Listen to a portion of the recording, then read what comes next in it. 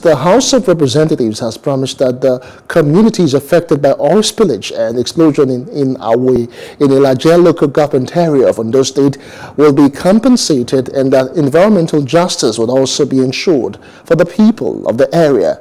The chairman, House of Representatives Committee on Host Communities, Dumnamene Deko, at an interactive session at Ugbo Kingdom, said that the three-man committee have visited the state for an on-the-spot assessment of the affected areas and to interact with the people on the level of damage to the communities. He said the team is making moves to hold the company responsible for the disaster liable to remediate, clean up, and compensate the victims expatriates on that vessel when we were being employed. But based on the fact that the company is not doing well, they are not paying workers.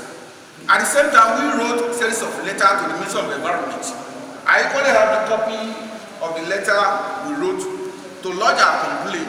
The National Assembly, with the uh, uh, Petroleum Industry Act, has been able to provide solutions you know, to some of these uh, issues we hope that it will be operational.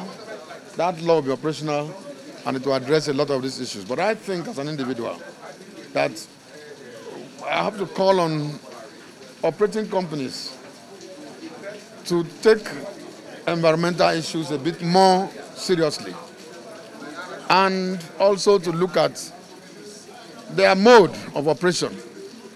Uh, it shouldn't be we just come and extract and go away. It should be we come and have a relationship with the people. Hello. Hope you enjoyed the news. Please do subscribe to our YouTube channel and don't forget to hit the notification button so you get notified about fresh news updates.